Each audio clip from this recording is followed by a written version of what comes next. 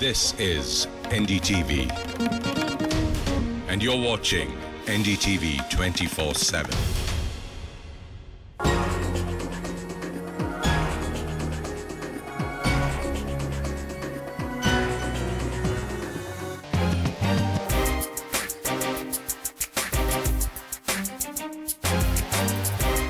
Here we are on a really cold day in uh, Watford, uh, and behind me, as you can see, there's a really big event that's kicking off now.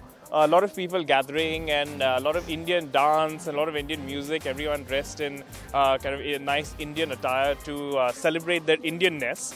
I want to ask all of you. uh, I can proudly, uh, I can, uh, you know, very um, uh, safely say that this is a group of uh, really proud uh, Watford uh, Indians uh, who feel connected to India. Right? Is that is that right? Absolutely. Our Love roots it. go back to India. I was born in Uganda and originally from Gujarat, my ancestors. But obviously, as you say, we are all Indian. W- Doesn't matter which part of the world we are born, we have that Indian connection. Indian connection. Okay. And tell me, I mean, uh, here in Watford, uh, how strong is the Indian community? Are there lots of people from the Indian community here in Watford? I think, as far as I know, they've been here since 1972 when the Ugandan Asians came in, Yeah. and that's where most of the Indian activities started. Right. Um, and um, yeah, I think we've uh, we've known we've made sure that uh, the community, the local community, knows our presence. Uh, tell me, sir, you run uh, the Watford uh, Indian uh, Association. Tell me a bit about that. I mean, wha- wha- wha- what, do you all do? Actually, the Watford Indian Association in the current form, its roots- roots go back to 60s, actually, even before what Hema mentioned of the Indian Asians or Asians in general coming from Uganda. Before that, Indians had come directly from India. At that time, the electrification of the railroads was where actually routes were taking place, actually. So a lot of script skilled workers actually came and they were involved in the actually construction of the Indian, uh, the British railways. They were doing actually electrification and all that work actually. And there was a small community based in Watford at that time, which actually at that time became Indian Workers Association. Okay, so these are the original roots. And one of the prominent workers who actually happened to be, uh, he's no longer now, but at least uh, uh, he was the councillor at the Watford Council. He even became a, a mayor of Watford Council, the civic mayor at that time, not the elected mayor and he still actually wishes that Indian community flourishes.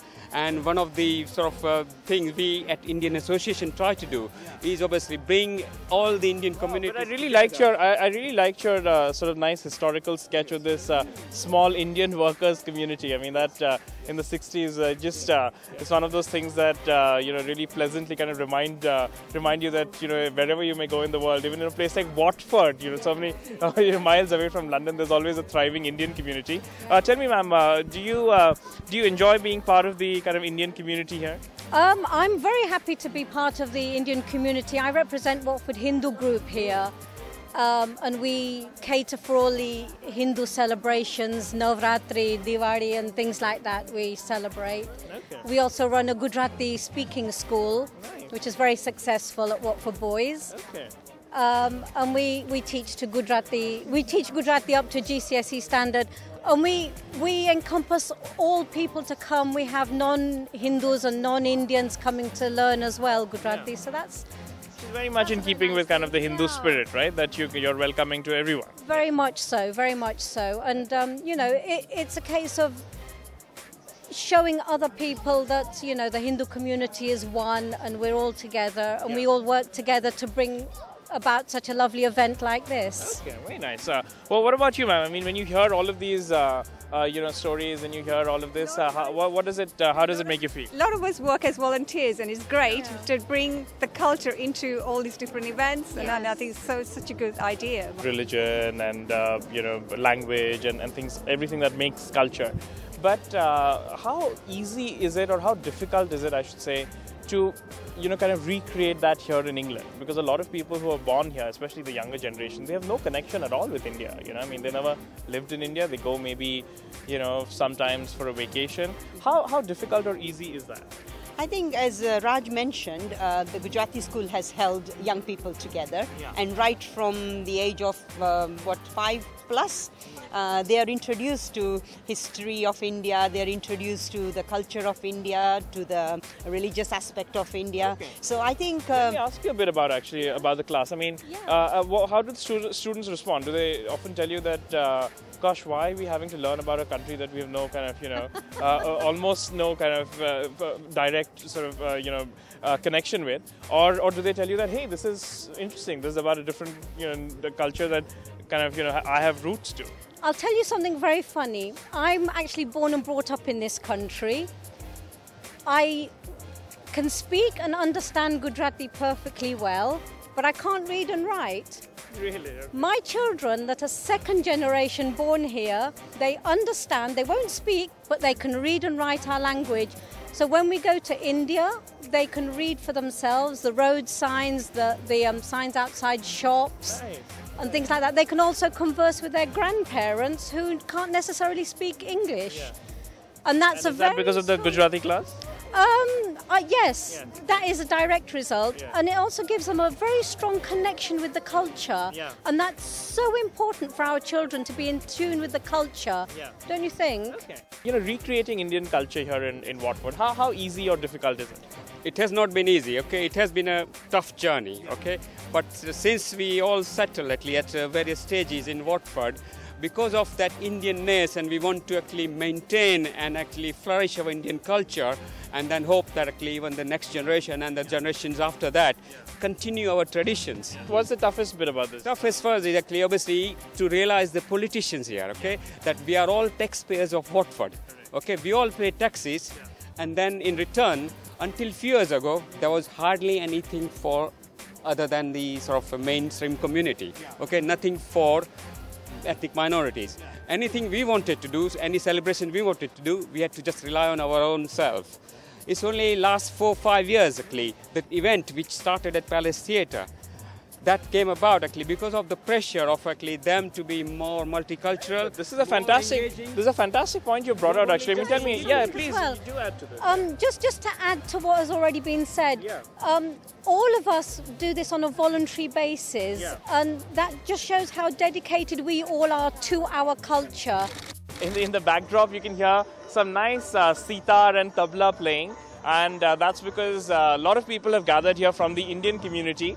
Uh, it's a, it's part of a celebration. Uh, Indian community here in Watford, strong community. Yes, it's getting more and more stronger. Um, I came to live in Watford about 15, 16 years ago where there wasn't that much of the um, Indian community around. However, there is lots more Indian people moving to the area. We've got fantastic schools in the area, you know, and lots more Hindus are getting together um, and we're doing various things together as well. And it's important for my children. I've got three daughters and one son. Yeah. So I feel culturally strong that they, yes, they should know their culture. So is that is that your daughter? This is my daughter Okay. and my youngest and my son and then my old, Okay, yeah. So uh, So tell me, I mean, uh, when, when mom says, uh, you know, you should uh, go and do some Indian activities, and you know, here you are dressed in Indian uh, tricolor uh, colors. Uh, what, what, what do you say to her? I say yes, it's okay because we always do it and it's now like a tradition for us. Yeah. Yeah. Okay. And uh, tell me, uh, ma'am, uh, what, uh, why, why are you dressed in these Indian colors today? Uh, we're dressed because we're going to be doing a dance in the parade. Oh, nice, nice. What dance are you going to do? And Bollywood. What uh, on what song? Um, I can't remember. You can't remember.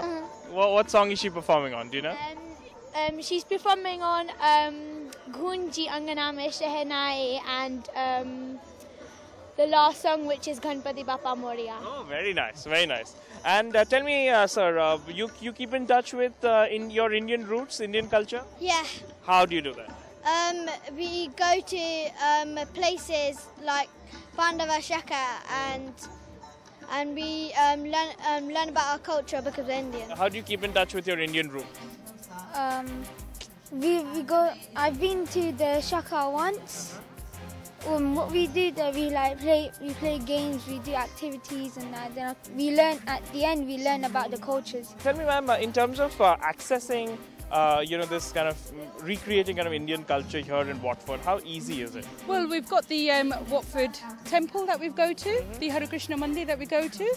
There are other temples that are quite near to us. You've got the Neasden Swaminarayan temple, the Stanmore temple. Yeah. So, and then we've got a um, Shaka Pandya family that we go to every Friday where we place various games that could be from a Mahabharata as well. Yeah. So there's lots of um, things that they have got access to. It's obviously making. You wanna you wanna add to that? Yeah, um, and in Shaka at the end we always learn about the Mahabharata. Oh, nice, nice. What, what do you like about the Mahabharata? Um, it's very interesting on all the stories that happened. Yeah. And there's always some kind of learning at the end of it. Yeah, there is. Yeah. There's uh, a real build up to a really big event here. But as you can uh, see in, in, in my backdrop, people clapping and doing lots of things uh, on stage. But very uh, soon, uh, y'all are also going to be on stage. And uh, what, what, what, do y'all call yourself? Y'all are the Riddhi Siddhi girls. Yeah, right? we're the Riddhi Siddhi Girls on behalf of the stall we've also done. Okay. And, and what do you call yourself? We're the Indian Knights. Indian Knights. Very good, very good. And uh, and and tell me, uh, so y'all are part of a dance group, is that correct? And uh, y'all are dressed in uh, uh, Indian national colors. Tell me a bit about uh, what, what, you know what is this Riddhi Siddhi group all about? Well, we're a group that we've performed before. Well, me and Keshni, we've performed before at a surprise birthday party. And we heard about the event and we thought it would be quite nice for us to perform. We all enjoy it dancing, all five of us, and it's a passion of ours. Yeah. And it, it's fun. Okay, Yeah, and and y'all mainly do kind of what Bollywood dancing, is that right? a mixture of Bollywood and a mix of like Indian fusion, so it's kind of like Garba style and also Bollywood. Okay, so Garba meets uh, Bollywood meets Western meets uh, uh, anything else that the crowd may like. Yeah, Yeah. definitely. Okay, and, and, and y'all choreographed this whole thing. Yeah, me and Keshni both done it. She does dance for GCSE, Mm. and I just love dancing. Okay, okay, you don't do dance for GCSE. No, No, I Pa- do parents PE. parents said no, no, no, do something no, more no, serious. I do PE. okay, PE, okay. And uh, let's let's speak to the Indian Knights. So, uh, what, what, what are the Indian Knights all about? T- tell me. sir. Well, we're Indian, so yeah. Okay. And um, where does the Knights part come from? Do you all come riding on horses or something like that? nah, No, we, no.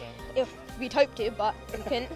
um, but we're just like boys, so we thought Knights would be a, a name for it. Okay. And what, and what do you all do? It's a dance group or a No. singing group? What do you Where we sing the Indian national anthem. Mm, okay. And and tell me, uh, how did you get involved in all? of this? Um, well, we go to like a band of Shaka and a Gujarati school, and we've just like all met each other and like, so we've just formed a group. We So also yeah. do Hinduism for GCSE, Right. and like every Friday we go to Shaka and we have a lot of fun. So Yeah. we just thought it'd be a good idea to. Okay. Tell me a bit about Hinduism for GCSE. What is it like? Is it uh, is it uh, uh, what, what is your kind of takeaway from from Hinduism? It's good. It's you you take away about your own like our own culture. Yeah. We're learning about what um how like what gods there are, how they came to be gods, Yeah. and um like What's that? How, how it all came about. Yeah. how the world was created and everything like that. Okay, okay, very good. And tell me, I mean, in terms of uh, you know, y'all y'all you know live here obviously, and uh, uh, you know y'all go to school here. Uh, what is your connection with uh, with Bollywood? I mean, do you get to watch a lot of Bollywood movies, or is it something that your parents do? Are y'all Bollywood fans? Tell me a bit about that. Yeah, we're definitely Bollywood fans. Um, we obviously meet up every so often and go and watch an, a typical like Indian Bollywood movie Yeah. at the cinema, Yeah. and that's where we get our lif- different ideas of dancing, and it kind of inspires us. Right, a- So who's your uh, who's your favorite dancer in Bollywood then? Dancer. Yeah. Um, go with Prabhudeva. Prabhudeva. And I love Ganesh. He's big, but he can still dance. Why don't you do one thing? Show me one or two of your favorite moves. While you're doing your moves, uh, explain to us what you're doing. Okay. It starts off with us kind of coming in like this, Uh-huh. and then we spin out, and we go one, two, and then we double spin, and both hits our backs and go up, down, and then back, down, and then Okay. Yeah. Are, are you going to teach me some of these moves? Okay. let's, let's, let's do it. Okay. okay, right. So what happens first? So from this side, Yeah. you start here with your left leg out, Left and you go like this, and you move, work your way in. Unfortunately, I have the microphone. but maybe, may, maybe after the uh, after the site. Uh, so here we are in Watford. Uh, if you're ever around in Watford and you want to uh, really uh, watch some young, enthusiastic people performing Bollywood songs, uh, you know, you should uh, come down and uh, have a look at what Riddhi Siddhi girls are up to. And after that, if you're in a bit of a serious mood, then you can always sing the uh, national anthem with the Indian Knights here. Thank you all so very much for joining us.